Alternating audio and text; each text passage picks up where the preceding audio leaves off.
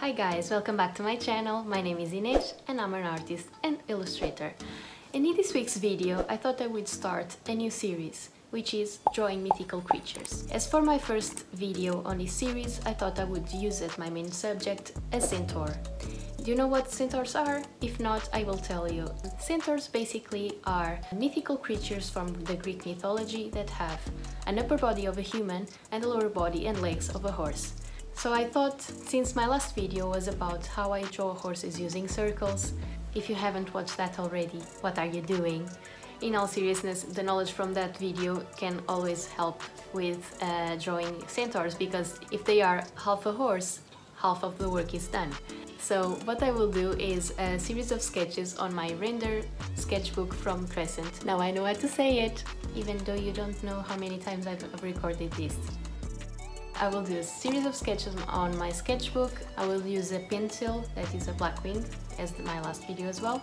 And then uh, I will draw uh, both uh, male and female centaurs. I will choose one of the sketches and I will do a digital painting out of it. So if you are interested to see how I draw centaurs, please keep watching the video. I start the sketch by applying the method of circles to build the horse part of the centaur. I wanted to create a dynamic pose. I ended up changing it a few times because I was still figuring out what would be the type of pose I wanted to portray.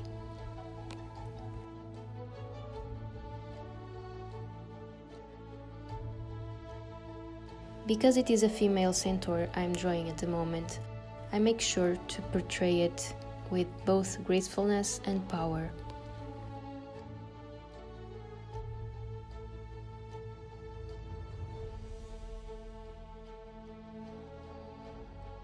Although female centaurs, or centaurids, are not mentioned in early Greek literature and art, they do appear occasionally in later antiquity. I personally love how, in the contemporary concept art world, there are so many variations of these creatures. It's really inspiring, and I really love to see it.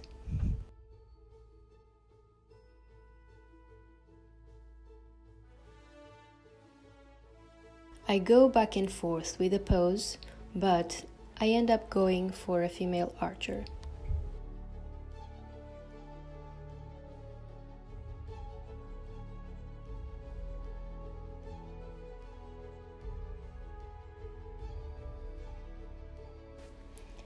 I make sure I like the silhouette, that the hair form is not messy or too complex.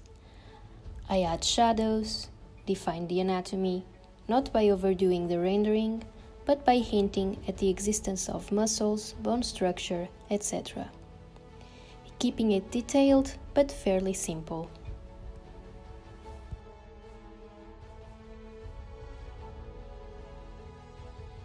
I add the final details and finish the sketch. I start the next centaur sketch, this time is a male archer. I also use the same method of circles. I do feel it really helps me to construct the form much easier.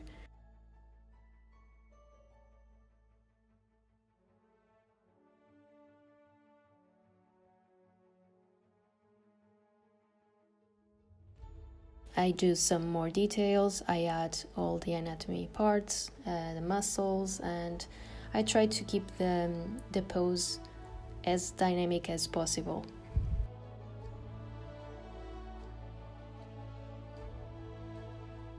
Doing these action-based poses is really fun.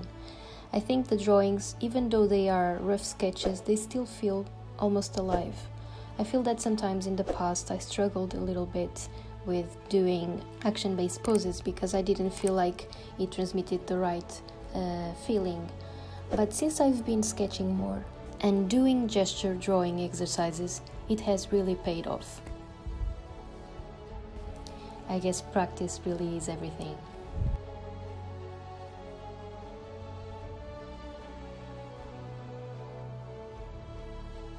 In the next sketch, I decide to play with the form making it both dynamic and powerful. I make sure to represent movement with the legs and tail. and try to do as much as an interesting pose as, as I possibly can.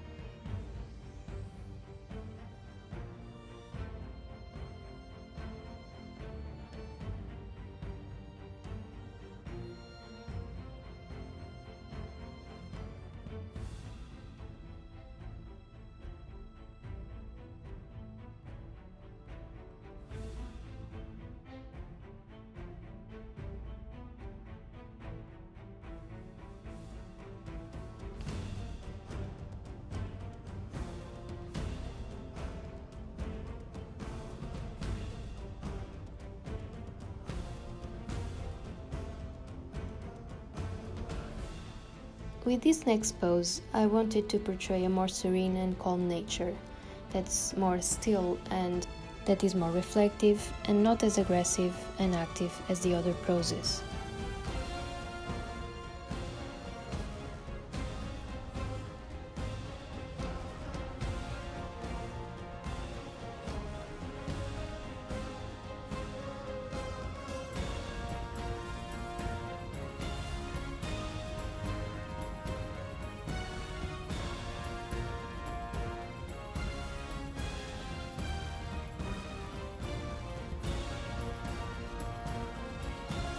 That will be followed by a more aggressive pose from a male centaur. It is supposed to represent more of a battle spirit, hence the spear and the aggressive pose.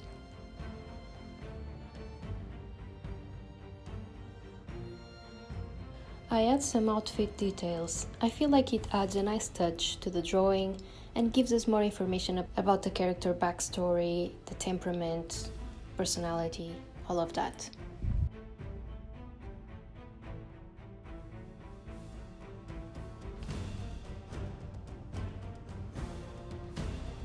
I don't usually draw males that often, so it was quite a fun change uh, that made me look at the male anatomy. Um, it's always good to vary your subjects from time to time. I feel like sometimes I draw women way more than men, that's why I'm more used to the anatomy, also because I'm a woman. But it's good to never forget to do different types of subjects and expand your sketching horizons, uh, if that makes sense.